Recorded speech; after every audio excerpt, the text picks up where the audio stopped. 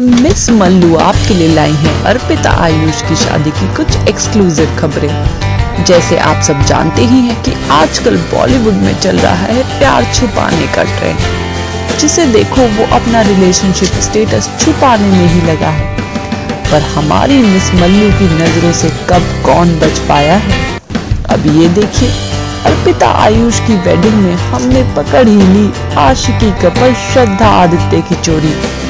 देखिए कैसे शादी के बाद दोनों की गाड़ियाँ बैक टू बैक निकली हैं। यहाँ हम आपको बता दें कि इन दोनों की कार्स आई भी एक दूसरे के बैक टू बैक ही थी।